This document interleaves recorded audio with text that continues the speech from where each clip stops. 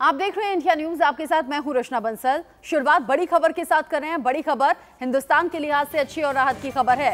भारत में एक और विदेशी वैक्सीन को मंजूरी दे दी गई है। जॉनसन एंड जॉनसन की वैक्सीन को मंजूरी मिली है। सिंगल खुराक वाली जॉनसन की वैक्सीन को मंजूरी दे दी गई है। खुद स्वास्थ्य मंत्री ने ट्वीट करके इसकी जानकारी दी है।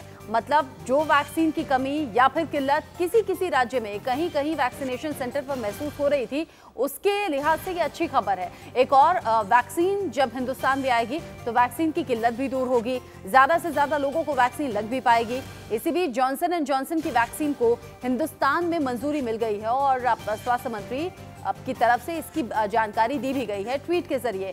बड़ी बात ये कि सिंगल डोज वाली ये वैक्सीन होगी। मतलब अभी तक जो दो डोज लेने, हो रहे थे, कोविशील्ड या कोवैक्सीन के, या फिर स्पूतनिक वी के, उनके दो डोज लगने थे। लेकिन एक ही डोज में काम होगा जॉनसन एंड जॉनसन वैक्सीन, जो कि सिंगल डोज वाली वैक्सीन है। मतलब इसमें यह सरदर्दी आपको नहीं होगी कि पहली डोज ले ली है, दूसरी डोज लेनी है।